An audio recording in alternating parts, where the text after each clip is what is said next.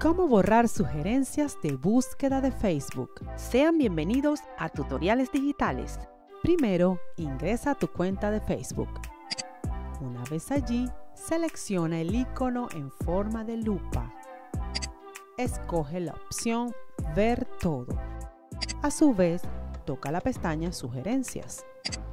Allí se desplegarán todas las sugerencias de búsqueda de Facebook.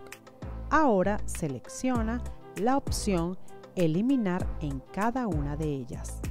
Y listo, así es como borras las sugerencias de búsqueda de Facebook. Si fuimos de ayuda, dale me gusta y síguenos.